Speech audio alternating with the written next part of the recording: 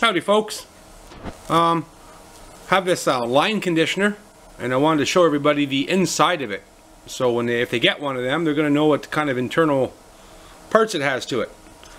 So what we have here is a little circuit board with your LED lights, indicator lights telling it's working and etc.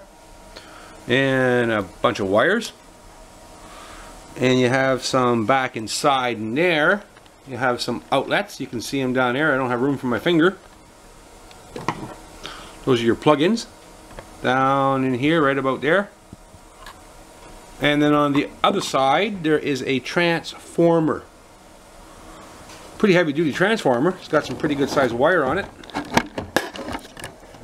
Box is closing in on me. Can't separate it all that much because these wires, I'd have to unbolt the transformer and I don't need to do that. I can get a good enough view I'm sure everybody just like this. You can see the wires. That's the transformer. That's doing the uh, transforming and purification. And there is a capacitor in there, which you can't see very good. All these wires are in the way. And what else did I see in there? There's another little wee transformer that went from um, outlet to outlet can't get a good image of that. So, well, we'll just leave it at that. And everyone can get an idea of what's inside here. Not a whole lot. A little bit of circuitry, circuit board, and that basically a transformer and a bunch of wires. And a couple of outlets. And then your power cord.